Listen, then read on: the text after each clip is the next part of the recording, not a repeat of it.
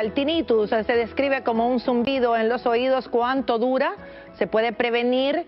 ¿Cuál es el mejor tratamiento? Y todas estas interrogantes las va a aclarar un experto que tiene las respuestas y la experiencia. Con él vamos a conectarnos con el audiólogo, especialista en audiología, el doctor Juan Carlos Olmo. ¿Qué tal? Buenas tardes, bienvenido. ¿Cómo está usted? Hola, doctora Fuentes, muchas gracias. Eh, yo estoy muy contento y muy agradecido por la oportunidad que tenemos en esta ocasión de conversar sobre los ruidos en los oídos a través de Mega TV para toda la audiencia de Miami y Estados Unidos. Muy bien dicho, de Miami, Estados Unidos.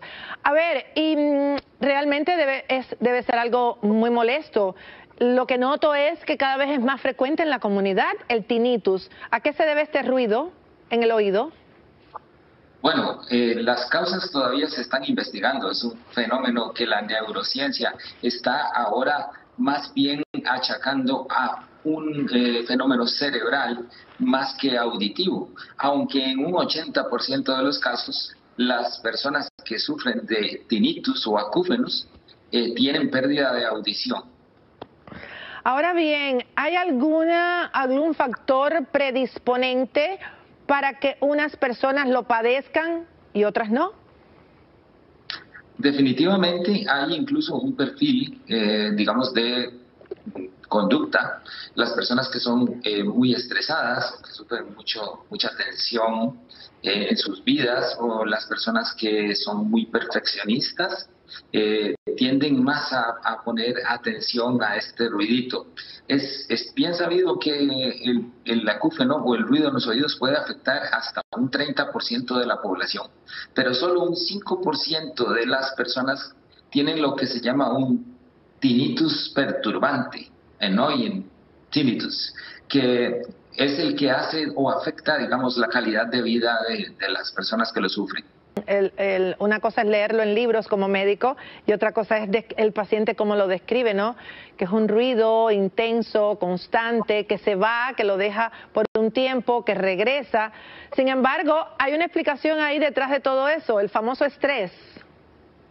Definitivamente, en nuestro estudio en el año 2021 eh, examinamos a 70 personas con tinnitus y descubrimos que la tercera causa más importante que genera tinnitus en este grupo estudiado fue casualmente el estrés. La primera fue la exposición al ruido, ya sea ocasional en algún momento de la vida de, estas personas, y la segunda es eh, la presbiacusia o el deterioro de la audición por la edad.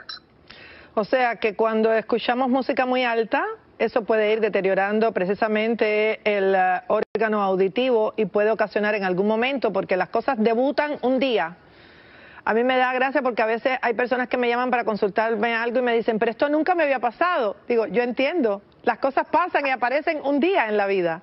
Lo que hay que averiguar cuáles son las causas y de eso vamos a hablar, em, además, doctor Carlos Olmo, o sea, del estrés, que es la tercera causa, del deterioro a través de la edad y de los sonidos muy altos por tiempos prolongados. De hecho, estamos, eh, bueno, es bien sabido también que la mayoría de las personas que sufren de tinnitus tienen más de 50 años y que es igual en, ambos géneros, hombres y mujeres. Sin embargo, en los últimos años hemos, hemos visto que hay un incremento de personas muy jóvenes por el uso de los dispositivos móviles, teléfonos celulares y demás para, para escuchar música y por las actividades recreativas que también se realizan eh, exponiéndose a niveles muy altos de, de ruido que están provocando pérdidas auditivas muy prematuras en personas muy jóvenes, incluso estamos hablando de adolescentes y personas muy, muy jóvenes. Vamos a hablar de las medidas que son importantes que nuestra audiencia tenga en cuenta precisamente para que puedan ayudarse un poquito a aliviar ese zumbido, ruido en los oídos que es tan incómodo. Por ejemplo, evitar la exposición a los sonidos o los ruidos intensos, como usted, doctor Carlos Olmo, acaba de mencionar. Controlar la presión arterial, disminuir la cantidad de sal que ingiere y dormir lo suficiente para evitar la fatiga, porque esto le podría causar un estrés que básicamente podría ser la causa. Ahora, ¿cómo asociamos los niveles de presión arterial y el consumo de sal con la aparición de este ruido en los oídos que se llama tinnitus? ¿Por qué lo asociamos? Bueno, en los estudios se ha encontrado que hay porcentajes de personas eh, que tienen factores asociados a la pérdida de auditiva, a la pérdida auditiva y al tinnitus. Eh, esos factores podrían ser, como usted bien mencionó, el consumo de eh, excesivo de grasas, una dieta no balanceada, el exceso en el consumo de sodio, los azúcares, y todo esto aumenta la presión arterial y esto también puede generar un aumento de la percepción de los acúfenos, aunque no sea una causa directa, porque también tenemos personas que tienen audición normal, que tienen todos los indicadores eh, normales de, metabólica, sin embargo, eh, pues también escuchan tinnitus. Doctor, eh, bien rapidito, ¿qué tratamiento es el mejor? Definitivamente para los acúfenos subjetivos porque tenemos que hacer una distinción entre los somatosonidos o los sonidos generados por el cuerpo, chasquidos de mandíbula, por ejemplo, o eh, ruidos vasculares, que son tinnitus pulsátiles, ruidos pulsátiles, esos son de tratamiento médico quirúrgico. En el caso de los acúfenos subjetivos, esos sonidos que la persona escucha y que los demás no oyen porque no hay una fuente que los genere, para ese caso lo mejor es la terapia sonora, el uso de los audífonos y lo que llamamos también terapia conductual. Y en algunas ocasiones, dependiendo del caso, las combinaciones de del estrés. Y controlar el estrés y la mente y las emociones, que ayuda en todo.